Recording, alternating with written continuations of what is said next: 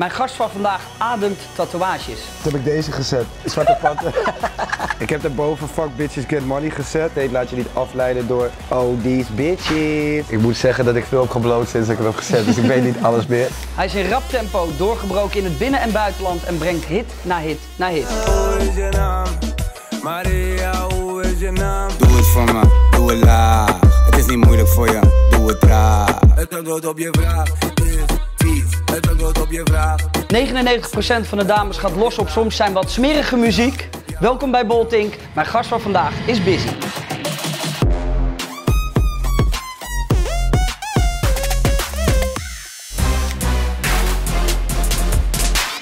Busy, jij zit in de Constraight Bolt slash Day One tatoeagestoel. Ja, zit en lekker, als er brother. iemand in de scene bekend staat om zijn tatoeages, dan ben jij dat. Ja, ik hou ervan. Ik vind tatoeages mooi, man. Zo, ik zou me wel naakt voelen als ik morgen wakker word en ik ben gewoon weer normale skin. Dus eh. jij zou het altijd zo houden, of niet?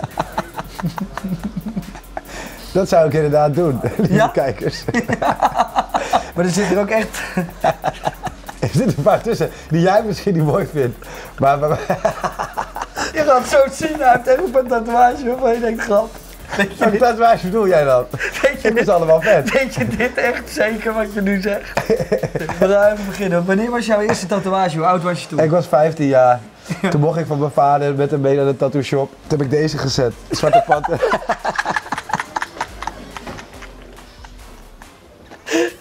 Het is gewoon een zwarte vlek en die, zelfs die zouden niet laten verwijderen. Ja, hé, dat krijg je als je koude jong tattoos gaat zetten. Dan groei je nog toch. En ik was echt, ik was, ik bedoel, ik ben niet lang nu. Maar ik was echt, toen ik deze had gezet, was ik echt zoals JJ, zeg maar. Weet je?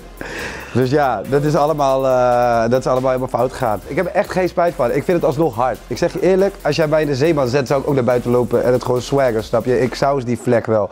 Ik vond het toen hard. Ik ga het ook niet bij laten werken. Ik vind het er gewoon dope uitzien.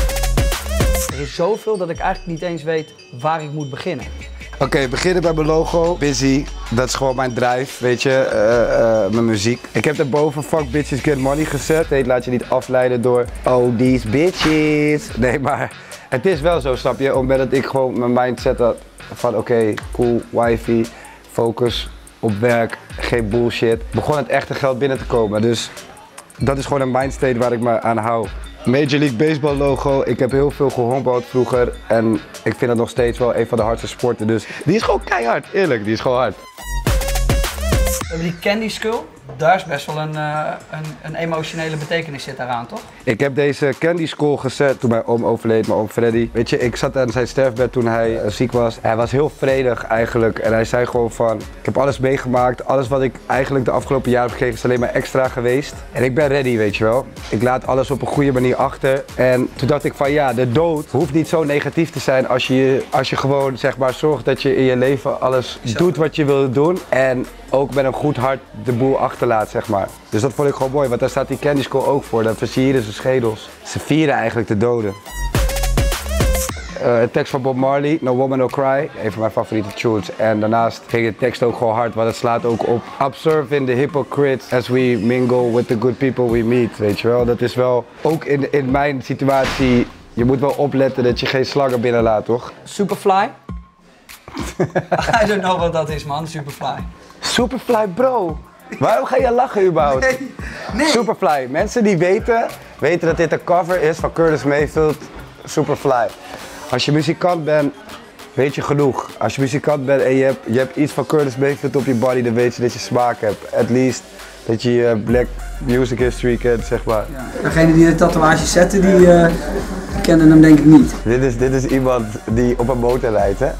Met een uh, leerhesje. Ik zou niet te veel... eh, Ik vind het een hele mooie tatoeage. Het is echt bizar dat je gestopt bent met internationaal optreden met Yellow Claw. Dat je het dan hier zo goed doet. Dat je gewoon internationaal weer scoort eigenlijk. Ja, het is koude grappig. Het is echt heel grappig. We krijgen heel veel aanvragen binnen, maar ik kom gewoon... Maar kijk, ik hoef niet, snap je? Dus ik kan gewoon als een douchebag reageren. En ik kom gewoon met gekke, gekke amounts of money die ik vraag voor één uurtje optreden. Wat vraag je als je bijvoorbeeld naar Colombia moet, eh, moet reizen? Een om- ton. Een ton. Ja, een En ton. dan kom je? Dan kom ik wel. Voor minder niet. Nee, voor minder ga ik niet komen. Maar ik zie ook redelijk veel eh, eh, van Yellow Claw nog. Yellow Claw. Ja, it's a big part of my life. En eh, ik heb er eh, heel veel moois aan overgehouden. Naast eh, een shitload of money. Ook natuurlijk gewoon onvergetelijke ervaringen en, en, en plekken die ik heb mogen zien. Ja, je weet toch, ik heb van de gekste, koudste plekken op Canada tot Hawaii, tot Azië, tot Kazachstan, tot Rusland, alles. Dus als ik nu naar deze tatoeage kijk, dan zie ik dat gewoon echt als, als rijkdom. En dan heb je hierboven Tido. Ja, Tito man, mijn hond man. Ik hou van Tito. Hij is sowieso mijn nigger man. Elke keer als ik thuis kom, is hij sowieso blij om me Ja. te zien. Mijn zoon of mijn vrouw zijn nog wel zaggerijnig. Maar Tito is altijd happy om mij te zien gewoon. Heb je hier nummer 1? Ja, die heb ik tegelijk gezet met deze. En onderhand zijn we twee nummer 1 hits verder. Drama, Kulo. Ja, Stop met flexen. Stop met flexen. Zo lelijk, waar zijn die mu- muzieknoten voor? Dit zijn ook echt, dit zijn noten die zijn uitgeslagen echt. Dat is Music is My Life, die ik met Don Diablo heb gemaakt. Want ja, music is my life, dus dat vond ik gewoon de beste. Deze, dit zijn letterlijk noten uit een... eh, Ja, dit, zijn, dit, is gewoon, dit is gewoon op noten uitgeslagen, die pokoe. En dan heb je op je rug. Ja, ik heb ze allebei in Bali gezet. Deze toen ik verloofd werd en deze toen we dus getrouwd waren. Daar heb je een heel groot logo. Eigenlijk is het een het zeg maar deels Nederlands en deels Surinaams eh, wapen. Omdat ik ben dat ook allebei. Ik ben allebei Nederlands en Surinaams. En ik vond dat wel heel vet. Ik heb het idee wel gestolen van mijn neefje, van Ruud. Rudy, sorry.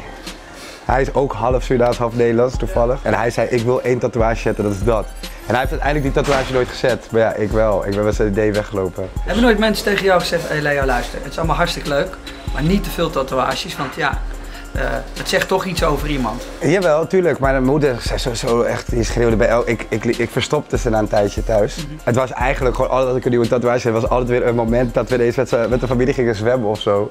En dan kwamen ze erachter toch. Zei mijn moeder, nee, nee, nee, nee, nee. En mijn vader dacht gewoon van, ja, pff, weet je, het is, het- hij wist het gewoon wel, van Ja, het is gewoon niet te redden. Maar eindstand, eh, eindstand eh, weet je, nu, nu vindt mijn moeder me gewoon ook zo gewoon mooi hoe ik ben. Ja, ik heb gewoon beschermengels op mijn schouders. Dus ik ben koude bijgelovig. Ja. Ik ben echt super bijgelovig. En ja, die beschermengels eh, werken wel in mijn voordeel. Waar houdt het op? Het houdt op als ik dood ben, man. Of als mijn huid te oud wordt om eh, te tatoeëren, zeg maar. Maar als ik dan hier kijk, heb je ook een soort van Maori tatoeage? Dat is een mokko, ja. Een mokkel. Zo noem je dat. Dus van de Maori, als ze botsen, als ze een soort van oorlog hebben, dan staan ze tegenover elkaar. Dan kan je dus eigenlijk alle karaktereigenschappen van elkaar kan je zien. Ja. Dat vond ik wel hard. Dus toen heb ik het laten zetten door uh, Tiwani. Dat is echt een, eh, dat is echt een, eh, een, een Maori. een, Ja. Echt? En een, een soort harde steen kreeg ik ook op mijn borst. Dat is een soort van de hardste steen die op Nieuw-Zeeland gevonden was. Maar uiteindelijk was het wel een toffe ervaring. Ik was helemaal, helemaal een soort van matties met hem aan het eind van de dag. Dat was wel dope. Hoe lang duurt zoiets? Negen uur of zo. Wat betekent het voor jou? Wat, wat staat er? Ik ben niet alles vergeten, maar ik heb ook niet alles onthouden. Eh, ik weet in ieder geval dat deze cirkel stond voor wijsheid. Hij vond mij heel wijs. Ik vond het best grappig. Mijn vader, moeder en mijn zus staan er ook in. Ik moet zeggen dat ik veel heb gebloot sinds ik hem heb gezet, dus ik weet niet alles meer. Wat ik vooral eh, eh, heel grappig vond, is dat hij inderdaad zei dat ik heel wijs was.